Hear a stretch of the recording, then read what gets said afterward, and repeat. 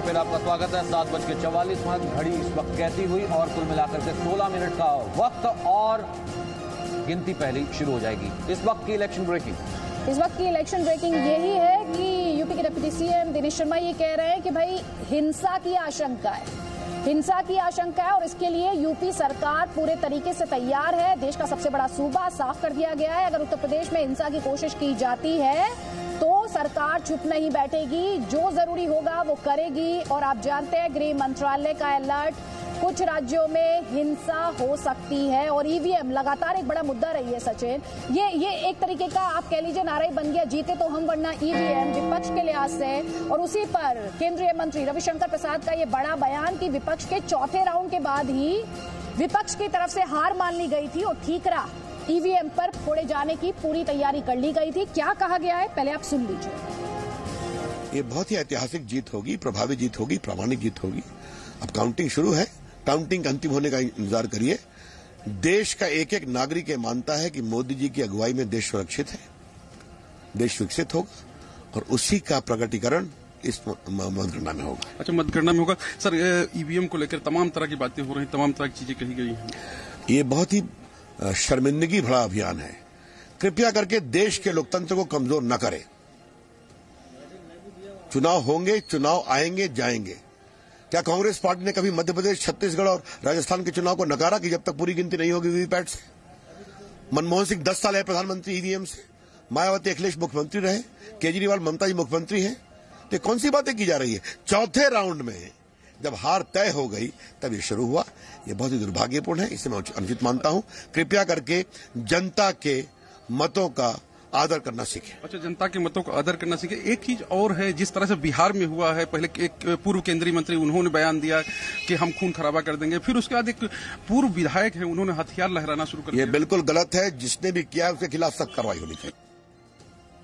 तो लोकतंत्र की बात लगातार यहाँ पर की जा रही है और जनता का ही तो फैसला आना है। सचिन अब तो पंद्रह मिनट से भी कम का वक्त रह गया है। नेताओं की धड़कनें तेज हो रही होंगी और आपकी एक्साइटमेंट भी बढ़ रही होगी। और साथ ही आपने सुना रविशंकर प्रसाद लोकतंत्र की दुहाई यहाँ पर दे रहे हैं लेकिन वेस्ट बंगाल में जिस तरह से देखने को मिली हिंसा एक नहीं बल्कि कई इंसिडेंट हुए हर फ़ेज़ में हुए। सचिन अपने दर्शकों को लेकर चलती हूँ पूजा मेहता के पास। जी अमन जी आपका एक बात बस जोड़ना मैं चाह रहा था इसमें अदिति जी, जी। कि विश्व के सबसे बड़े लोकतंत्र का परिणाम आ रहा है। विश्व का सबसे बड़ा चुनाव है। सबसे और जो भी अमेरिका भी हमसे आधा ही खर्चा करता है। बिल्कुल बिल्कुल। और इस पे हम सभी लोगों को गर्व है, गौरव है।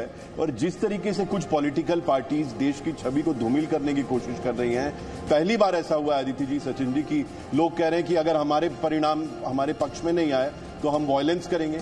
ये कहाँ लेके जा रहे हैं लोग लोकतंत्र को? और जो पॉलिटिकल पार्टीज़ ईवीएम को इस तरह से क्वेश्चन करना चाह रही है। जो पॉलिटिकल पार्टीज़ देश की छवि को धूमिल कर रही है उनको जनता का जवाब मुकम्मल मिलेगा। मैं वेस्ट बंगाल अपने दर्शकों को लेकर जाना चाहती हूँ क्योंकि कहीं ना कहीं बार बार ये कहा गया कि बीजेपी की स्ट्रैटेजी यूपी के नुकसान की भरपाई वेस्ट बंगाल ओडिशा से करने की है। तो वेस्ट बंगाल में पूजा मेहता पूजा मेहता वेस्ट बंगाल में इस समय क्या ताज़ा अपडेट आप हमारे दर्शकों को दे सकती हैं है। समय की जो सुई है, घड़ी की जो सुई है, तेज़ी से आगे बढ़ती हुई।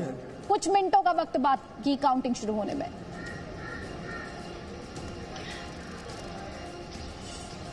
जी आदित्य, आपको बता दें, जैसा कि आप बता भी रही थी थोड़ी देर पहले कि एमएचए की ओर से जितने भी राज्य के डीजीपी हैं, उनको सतर्क किया गया है कि शायद कोई वायलेंस हो सकता है।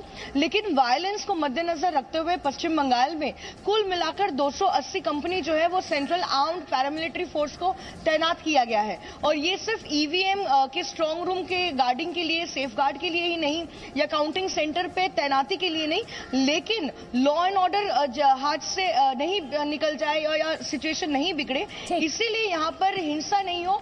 उसको मद्देनजर रखते हुए यहाँ पर 280 जो कंपनी है सेंट्रल आर्म पैरामिलिट्री फोर्स की यहाँ पे तैनात की गई है। एक और बात आपको बता दूँ क्योंकि बार बार स्टेट पुलिस पे जो आरोप लग रहा था बायस का तो चुनाव आयोग की ओर से यह कह दिया गया है कि जो भी काउंटिंग सेंटर्स है उसके बाहर ही स्टेट पुलिस रहेगी।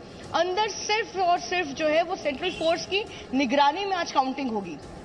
पूजा मेहता, इस बड़े अपडेट के लिए बहुत बहुत शुक्रिया आपका, हर तस्वीर। देखिए, पूजा का दौर जारी, हम बार बार सियासत के भक्ति काल का यहाँ पर ज़िक्र कर रहे हैं। तमाम एक्सपर्ट्स हमारे साथ लगातार बने हुए हैं, हर तस्वीर और हर खबर सबसे पहले आप तक पहुँचाने के साथ, वादे के साथ, और ये ग्लोबल कवरेज ब्रेक के साथ भी जारी है। आप रहिए हमारे साथ।